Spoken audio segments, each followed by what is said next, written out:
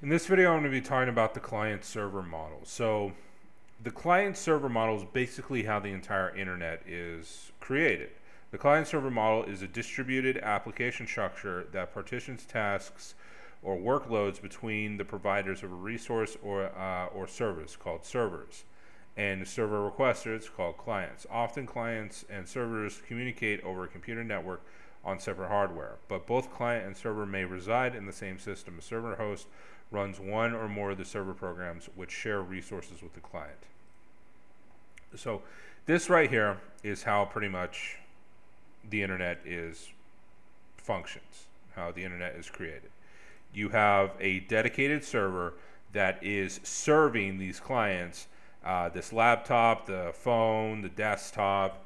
Um, you know, you probably would have an iPad or other servers, right?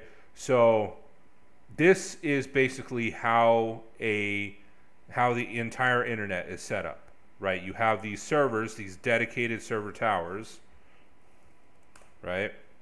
You have these server towers. Here we go.